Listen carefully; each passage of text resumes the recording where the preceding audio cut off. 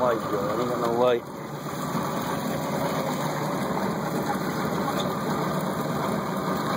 That's the way they work with plenty of bait in them.